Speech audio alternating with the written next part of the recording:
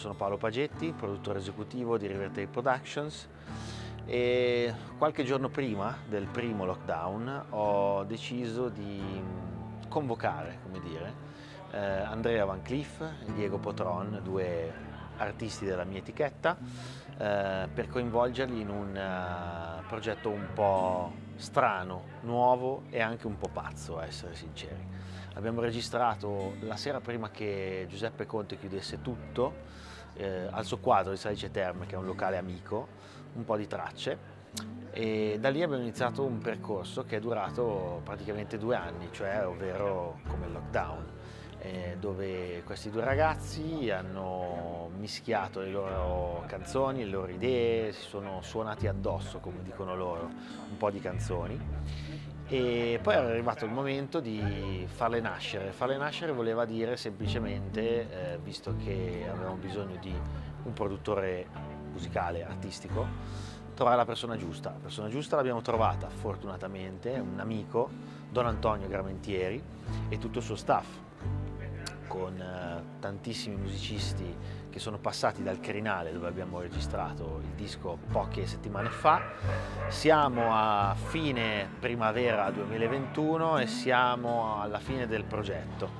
Ce l'abbiamo, è finito, è una stazione che non ha confine, è un safari, come si fa da quelle parti, soprattutto nel nostro immaginario in Africa, quindi ci sono delle cose che ricordano quelle terre, ma ci sono tanti altri posti che sono più posti immaginari della mente, del cuore, che in questi due anni abbiamo così fatto nascere, li abbiamo spostati, poi li abbiamo rimischiati e quello che sentirete è quello che abbiamo prodotto per voi.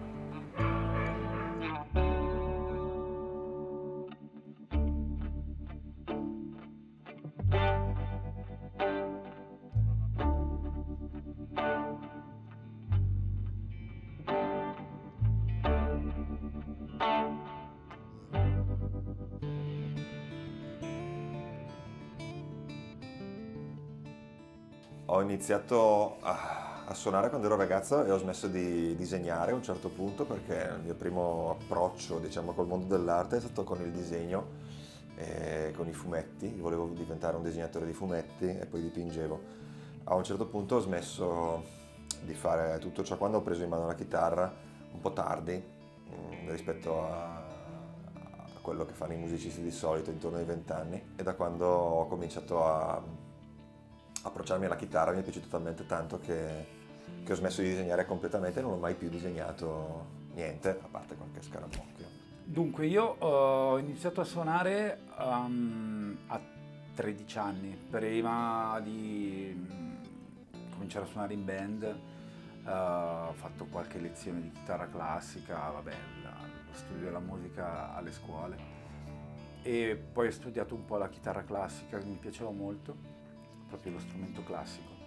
E ho cominciato a suonare perché qui in Brianza, eh, io sto a Carnate, ma tutti i paesi qua intorno, eh, negli anni 90 eh, c'erano tantissime band. Qui a Carnate è un paese di... allora erano circa 5.000 abitanti, poco di più, e c'erano 6-7 band.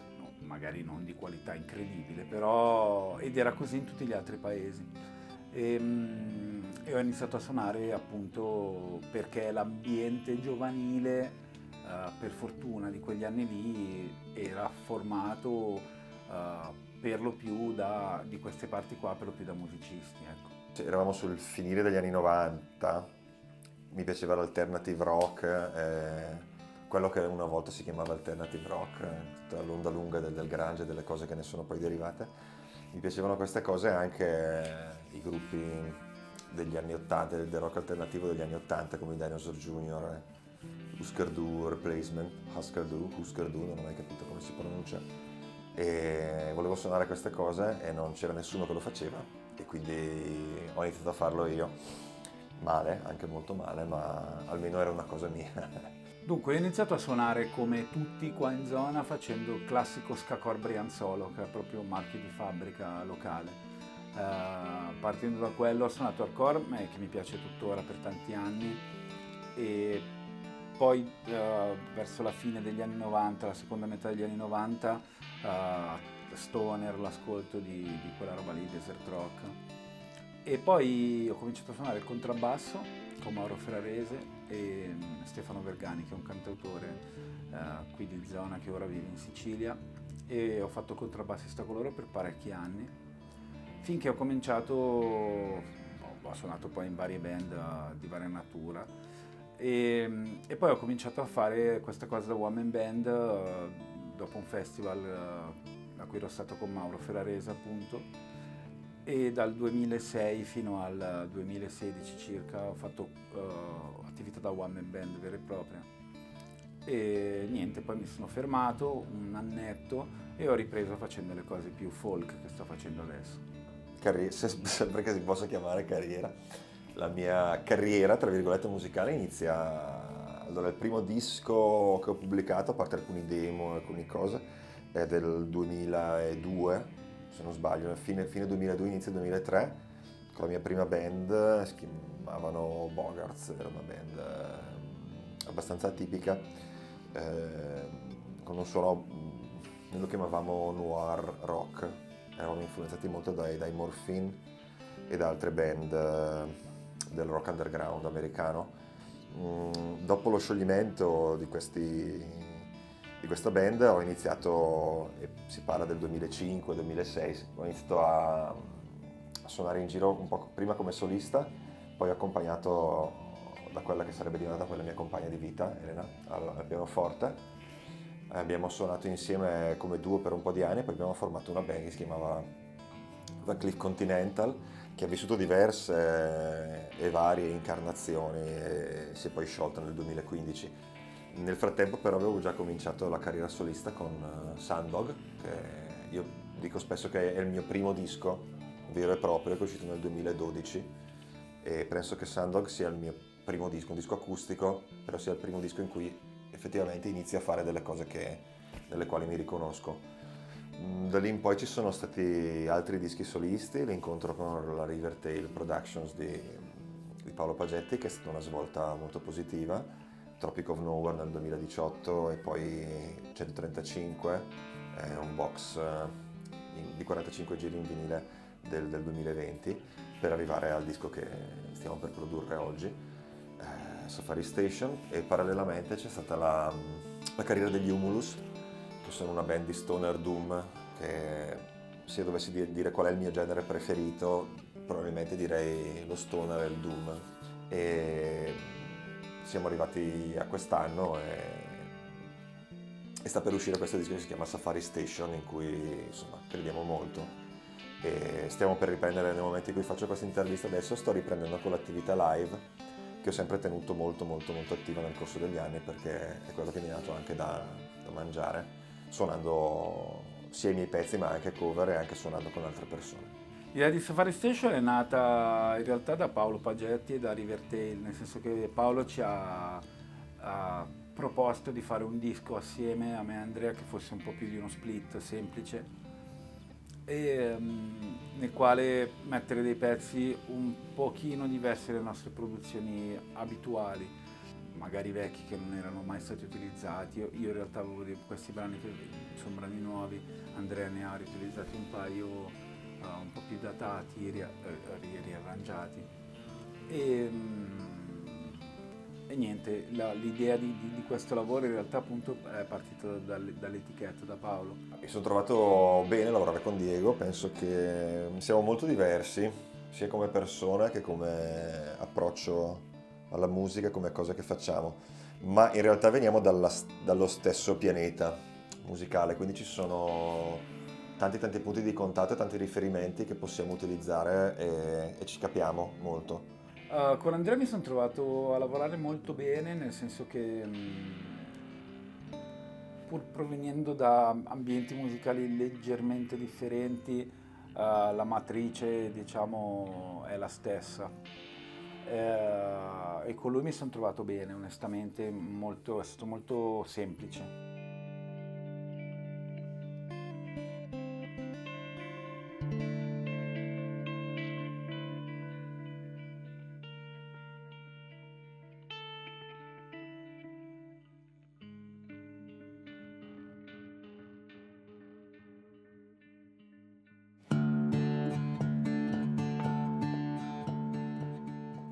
Safari Station per me parte quando Rivertail mi chiede di dare un contributo diverso da quello che do di solito, quindi non come chitarrista, non come autore, ma come coordinatore dei suoni di questo nuovo disco a quattro mani di Diego e di Andrea, personaggi che conosco di nome ma non di persona, gente che ha già alle spalle un percorso molto ben codificato sono le persone con cui può essere più facile o più difficile lavorare. Non conoscendoli non sapevo quale delle due opzioni mi si sarebbe presentata. Gente molto piena di sé, molto difficile da guidare in un territorio nuovo, perché un disco a quattro mani è sempre un punto di incontro, non è mai uno spostamento polare da una parte o dall'altra, o persone che sono già abbastanza solide nel loro percorso per non avere paura di essere messe in discussione, di mettersi in discussione e di trovare una sintesi fra i linguaggi. La sintesi fra loro due è diventata una sintesi fra noi tre, anzi fra noi quattro, dove il quarto elemento è la band, una band con una grande personalità ed è stato, devo dire, una di quelle cose che riconnette al senso etimologico anche inglese di suonare, che è play, perché ovviamente abbiamo suonato ma abbiamo anche giocato, abbiamo preso le loro idee, abbiamo giocato come col Pongo a rimodellarle, a passarcele da una mano all'altra e vedere la forma che veniva fuori alla fine. Questo eh, evento, diciamo, eh, di venire qui a fare questo disco in questo modo, in realtà è stata una richiesta esplicita di Paolo Pagetti, nel senso che lui ci ha chiesto di fare dei pezzi nostri ehm, uscendo dalla quello che abbiamo sempre fatto, quindi Andrea uscendo un po' dalle sue cose più rock, diciamo, e a me di uscire un po' dalla questione chitarra-voce che più mi appartiene. Avevamo dei pezzi, abbiamo scritto dei pezzi, abbiamo completato il disco in quest'ottica e siamo venuti qui a farlo perché eh, affidandoci a una persona come Don Antonio che è una, più un direttore d'orchestra deviato che una produttore musicale, diciamo, eh, abbiamo affidato moltissimo a lui eh, anche la stessa parte di arrangiamento dei brani in maniera che venissero più coesi eh, i brani negri di Andrea e poi eh, uscissimo realmente da eh, quello che, che facevamo abitualmente, come dicevo prima appunto. Come dice Diego, la produzione di Don Antonio è stata molto importante e mm, ci siamo trovati molto bene e devo dire che Antonio Gramentieri ha le caratteristiche del grande produttore, nel senso che riesce ad avere una visione di insieme del brano, riesce a svilupparlo, ad arrangiarlo, a portarlo verso direzioni impreviste ma mai eh, fuori dal genere de- de- della persona che ha scritto il brano. Nel senso, lui e la sua band hanno, con la nostra collaborazione ovviamente, hanno lavorato tantissimo a dei brani che ho scritto che avevano una struttura molto libera gli ha dato uno sviluppo davvero fantastico e a volte inaspettato, ma tutto quello che ha tirato fuori erano cose che sono nel, mio DNA mm, da molti punti di vista, infatti non ho fatto nessuna fatica ad inserirmi, a fare le mie parti, a cantarle. E è stato davvero un grande lavoro e grandi doti di produttore da parte di Don Antonio e grandissimi musicisti coinvolti. Ho trovato delle belle persone, delle persone curiose, oltre che degli ottimi musicisti e questo già si sapeva e credo che abbiamo fatto, che abbiamo disegnato la geografia di un luogo che è il luogo esatto del loro incontro e direi del nostro incontro. E da questo punto di vista, grazie anche alla regia di Rivertail, che è stata, come tutte le buone regie, è stata silenziosa, trasparente ma presente. Credo che sia un progetto nato sotto una buona stella e una cosa che ha già dato delle grosse gratificazioni nel momento in cui era fatta. Spero che darà delle gratificazioni anche a chi l'ascolta. Un'altra cosa interessante è stata fare, eh, visto che questo disco non è semplicemente uno split, eh, è stato un po' intervenire ehm, all'interno dei pezzi dell'altro mm. A vicenda. Sì, lui non mi ha lasciato intervenire nei suoi pezzi. Io non ti ho lasciato intervenire perché... Praticamente, però vabbè. Cioè, no, in io, realtà... Io sono uh, democratico. No, allora, non è che tu non, hai, non sei intervenuto nei miei pezzi, è che io a un certo punto mi rendo conto che non è necessario fare 85 chitarre A differenza tua? No, stavamo dicendo appunto dei grandi musicisti che ci hanno accompagnato nelle registrazioni di questo disco, oltre a Don Antonio Gramentieri di cui abbiamo parlato e del suo ruolo di produttore. Eh, credo che sia giusto citare i grandissimi musicisti che hanno suonato, che sono Piero Perelli alla batteria e alle percussioni, un musicista straordinario. È bello, molto bello. è bello e fa le pizze buone anche. Tra l'altro, ma più che altro è bello. E, al tramonto soprattutto. E Nicola Peruc alle, alle tastiere, eh, anche lui straordinario, velocissimo, e, intuitivo, e davvero molto bravo e di un'umiltà, tutti di un'umiltà incredibile. Infatti Non è stato... mai insultato, stati... Non ci hanno mai sgridato, non mi- sono mai stato sgridato neanche io per le mie lacune, le mie carenze, infatti ho apprezzato molto questa cosa, la loro cortesia, oltre che la loro umiltà. E poi Ivano Giovedì, il fonico che ci ha, che ci ha registrato, ci ha seguito, anche lì una caratteristica fantastica del il fonico perfetto, il fonico che non vuole essere protagonista ma si mette al servizio, senza no nonsense, cioè senza cazzate, no Ivano in bullshit. particolar modo, a parte i musicisti, è veramente... eh, cioè, sono rimasti davvero impressionati.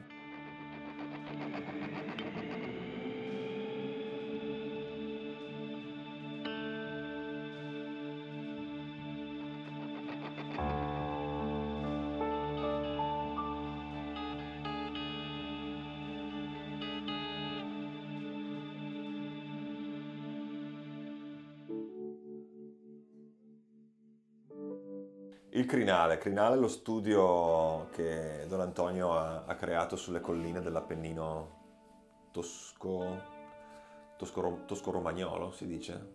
O esiste solo tosco-emiliano? Ma non lo so.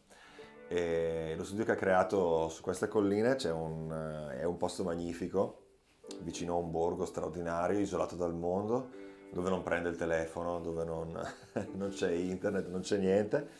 Quindi è, è pazzesco perché ti immergi totalmente nell'atmosfera del posto e nella, e nella musica che, che stai facendo.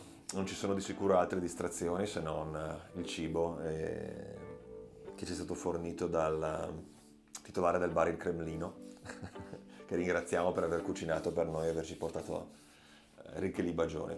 È un'esperienza interessante nel senso che si è abituati a essere iperconnessi davvero e viaggiare a una velocità di un certo tipo nella nostra quotidianità che mm, è abbastanza folle.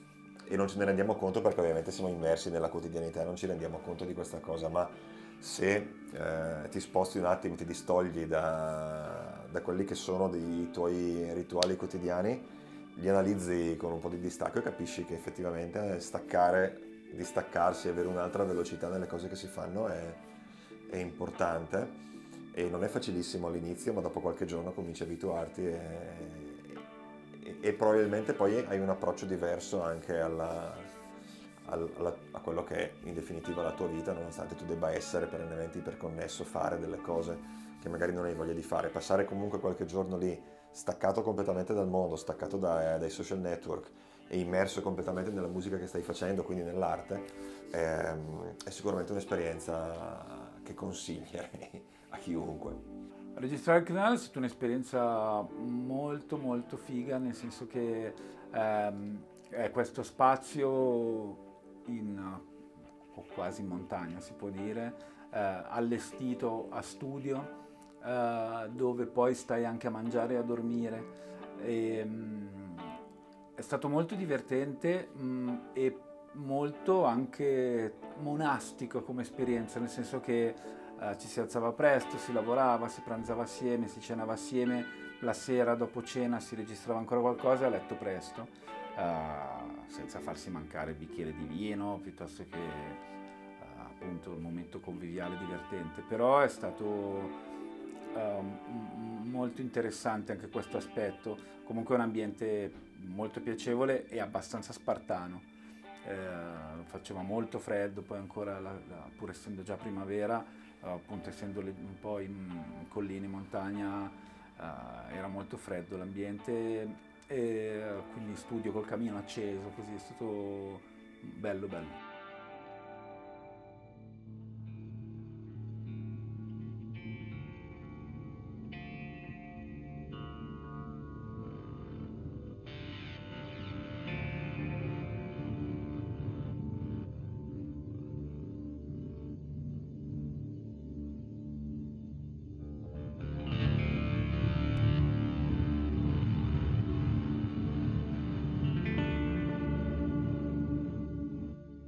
Di interessante in questo disco? Penso che ci siano tante cose. Ehm, potrei dire i suoni, potrei dire gli arrangiamenti, potrei dire anche le canzoni. Io penso che ci sia una forma di verità in qualche maniera che si riesce a sentire. È un disco poco, poco fatto con uh, obiettivi altri che non siano esprimere, esprimere artisticamente quello che doveva essere la canzone e quelli che dovevano essere i suoni del momento. Non c'è una, una concezione di fare un singolo che suoni in una certa maniera perché potrebbe essere vantaggioso oppure di fare una promozione di un certo tipo. Penso che sia, che sia un disco che, che, contiene una verità, che questa verità poi sia bella, sia qualcuno la ritenga di qualità o meno. A questo giro ci è importato un po' di meno, però sicuramente si sente, si sente, qual, si sente la, quella che è la nostra verità, la verità delle persone che hanno scritto i pezzi, cantato e suonato tutti insieme, perché abbiamo suonato tutti i pezzi insieme, eravamo in cinque persone che hanno fatto tutto insieme dall'inizio alla fine. E credo che questa cosa che è venuta sia, sia, sia la, la, la, verità che noi abbiamo creato in, in, quei, in, quei, momenti. E penso che possa essere una cosa interessante da ascoltare. Magari a uno non piace, però è una cosa, penso, interessante. Beh, eh, disco spero che sia interessante ascoltare in toto. Uh, penso che sia la, la, la, la parte più secondo me importante è proprio questo lavoro di mm, vera e propria produzione artistica nel, nel, nella quale dei, delle persone estranee a noi ma molto intelligenti artisticamente sono intervenute um, e questa cosa ha uniformato e, um, questi brani, questi 9-10 brani, uh, anche se in alcuni casi abbastanza differenti tra di loro, però è riuscita a creare un ambiente unico nel quale questi uh, brani vivono. Ecco. Uh, credo che questa sia la cosa più interessante da ascoltare, da, da sentire.